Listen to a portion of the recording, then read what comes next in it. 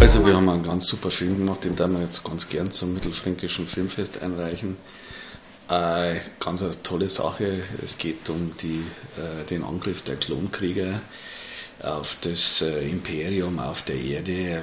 Also super aufwendig gemacht äh, mit einer Prinzessin und so weiter und Klonkriegern und Raumschiffen. Und das Ganze ist so als in epischer Breite erzählt, also ein totales Övre circa zweieinhalb Stunden lang, aber das wollte sie ja nicht, obwohl das wirklich wunderschön animiert ist mit Playmobil-Figuren von mir persönlich im Keller gemacht, also hervorragend.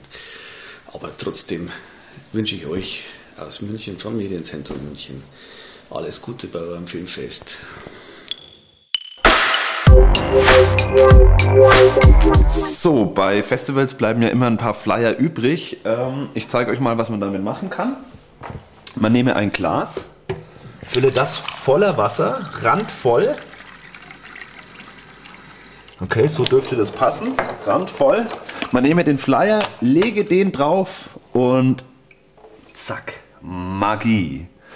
Und äh, also damit faszinieren wir auf jeden Fall jeden. Gratulation zu 25 Jahre Jufife. Ja, und zu eurem 25-jährigen Jubiläum auch noch ein kleiner musikalischer Gruß aus München.